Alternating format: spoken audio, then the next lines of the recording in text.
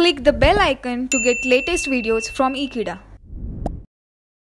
Hello friends, now we are going to talk about a new topic that is differential extraction method. So what is this method and what is the application of this method? Let us talk about this in this lecture.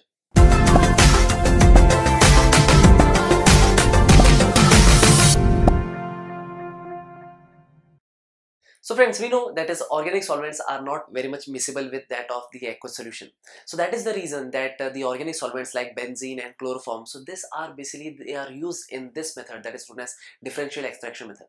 Suppose if an organic compound, suppose it has been present in an aqueous solution and suppose if we have added a benzene or suppose if we have added uh, chloroform, obviously the chloroform will not be soluble in the aqueous solution but somewhere we need the organic compound to be uh, extracted from the aqueous solution so this is the method that we are going to talk about that is differential extraction method.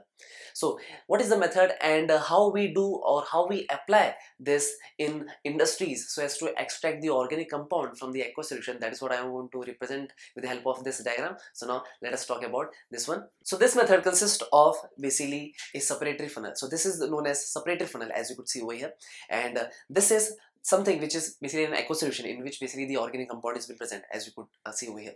And this is the solvent layer and this solvent layer is nothing but the organic uh, solvent. That could be benzene or that could be chloroform. Depending on that uh, we have to extract the organic compound in which solvent. So depending on the organic solvent that could be benzene or that could be chloroform we can add in a specific proportion.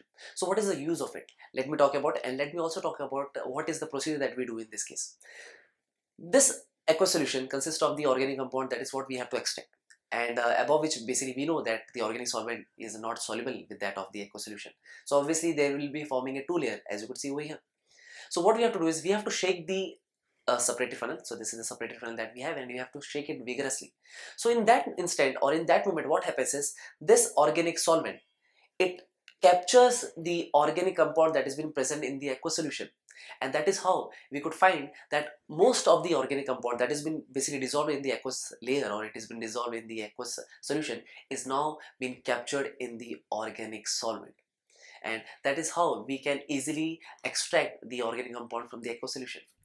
So in this case the main thing that we have to mention is that is if the organic compound if that is soluble in aqueous solution as well as in the organic solvent but it should be noted that the compound that we have to extract it should be very much soluble compared to that of uh, aqueous solution. It, it would be very much soluble in the organic solvent. So that is what the uh, separator funnel that we will take and we'll shake it vigorously and that is how basically most and maximum amount of uh, that is the organic compound could be easily extracted and that could be present in the organic solvent so this is the extraction process, but we need the organic compound. So what we have to do? Obviously, as you can see over here, there is a cork that has been present over here.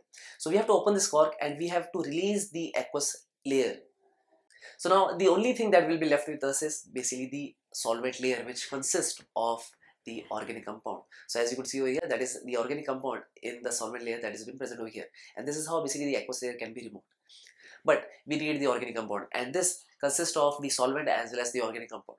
So it is a very simple process that we have to do. That is, uh, since this organic solvent could be a volatile substance also, so what we are doing is we are letting the volatile organic solvent to get evaporated. And the rest of the thing is, if the organic compound is basically non-volatile, it will be remained and uh, as a residue, and we could also purify it. So this is how basically we can separate or we can extract the organic compound from an aqueous solution through an organic solvent. So this is what I want to talk about and this is also a very crucial method that are being applied in the industries as well as in the laboratory.